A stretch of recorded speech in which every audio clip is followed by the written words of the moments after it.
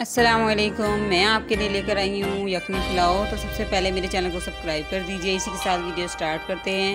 हमने एक कुकर में गोश्त डाला है, प्याज डाली है, लहसुन के जवे डाले हैं, आधा चम्मच नमक डाला है और साथ ही साथ इसमें मैं साबुत धनिया एक चम्मच और साबुत सौंफ एक चम्मच डाल दूँगी और पानी ऐड कर लेंगे हम छः गिलास। छः से सात गिलास आप पानी ऐड कर दीजिए और कुकर को हर की आँच पर पंद्रह से बीस मिनट के लिए गोश्त करने के लिए रख दीजिए। फ्लेम ऑन हो गई है, साथ ही दूसरे बर्तन में मैं डाल लेती हूँ घी। घी के साथ हम इसके अंदर डालेंगे दो प्याज और इसको हम करेंगे लाइट ब्राउन प्याज डाल दी है, दूसरी तरफ़ हम पेस्ट बना लेते हैं। चावलों का पेस्ट बनाने के लिए आपको बीस हरी मिर्चें चाहिए, दो से तीन टमाटर चाहिए। सवा किलो हम चावल ले रहे हैं। उसी के साथ मैं इसको अब ग्राइंड कर लूँगी। कुछ मैंने लहसुन के जवे डाले हैं इसके अंदर। सॉरी अदरक के जवे मैंने इसके अंदर ऐड कर दिए हैं और जी मैंने इसको ग्राइंड कर लिया है। ग्राइंड करने के बाद इस पेस्ट को मैंने एक बाउल में निकाल लिया है। अब इसके अंदर मैं डालूँगी मसाला जात। अब मैंने डाला है इसके अंदर इमली का पाल, इमली का गोदा जो मैंने भिगो लिया था। इसमें से मैंने गुठलियाँ निकाल ली हैं और पेस्ट मैंने इसके अंदर ऐड कर दिया है। साथ ही मैं इसके अंदर डालूँगी साबुत गरम, पिसा हुआ गरम मसाला, हाफ़ चम्मच। एक चम्मच हम डालेंगे पिसा हुआ धनिया। एक चम्मच हम डालेंगे गरम मसाला साबुत, जिसमें बादियान के फूल, इलायची, दालचीनी और काली मिर्च है, लौंग, ज़ीरा शामिल है।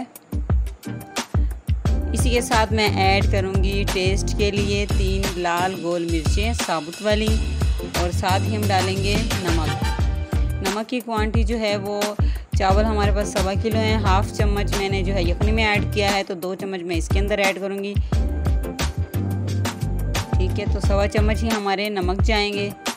अब यखनी जो है गल चुकी है 20 मिनट हो चुके हैं, गोश्त अच्छे से गल चुका है। अब मैं गोश्त को प्याज मैंने ब्राउन करने रखी थी, उसी के अंदर डाल देती हूँ। साथ ही साथ मैं गोश्त के अंदर, गोश्त को फ्राई करूँगी। प्याज के साथ हम इसको फ्राई करेंगे।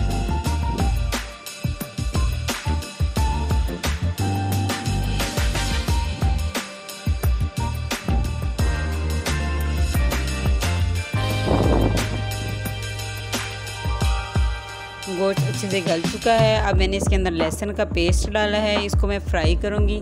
दो से तीन मिनट फ्राई करने के बाद इसके अंदर मैं डालूँगी वो पेस्ट जो मैंने बनाया था, हरी मिर्चों का और टमाटर का।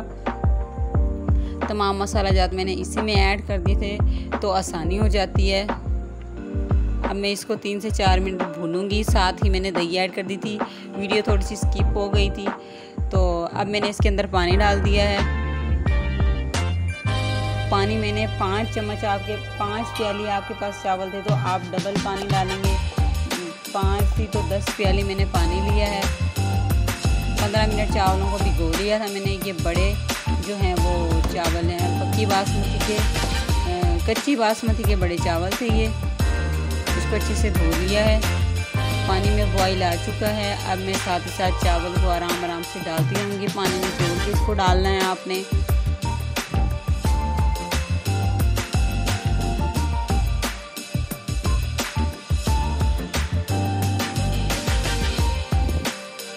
तीन से चार मिनट इसको पकाएँगे तो हल्का हल्का पानी खुशक हो चुका है।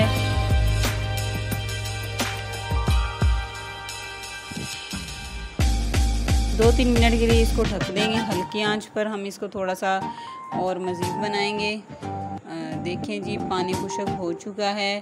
थोड़ी सी कसर रह गई है।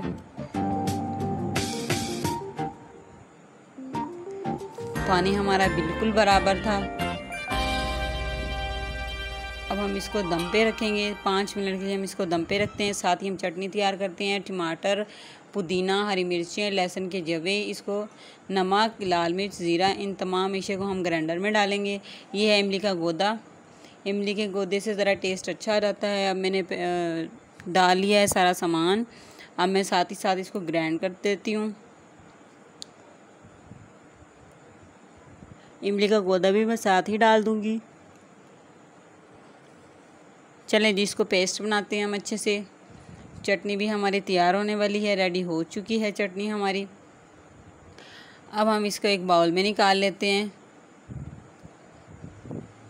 और चावलों में भी दम आ चुका है, ये थी हमारे चावलों की फ़ाइनल लुक तो आप बताइए, आपको ये रेसिपी कैसे लगी? घर में बनाए ट्राई कीजिए कमेंट्स कीजिए और मेरे चैनल को सब्सक्राइब ज़रूर कीजिए। इसी के साथ इजाज़त दीजिए, अल्लाह हाफिज़।